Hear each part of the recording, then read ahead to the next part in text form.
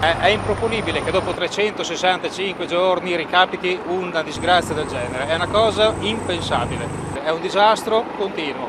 Piove da 36 ore, bene, un disastro.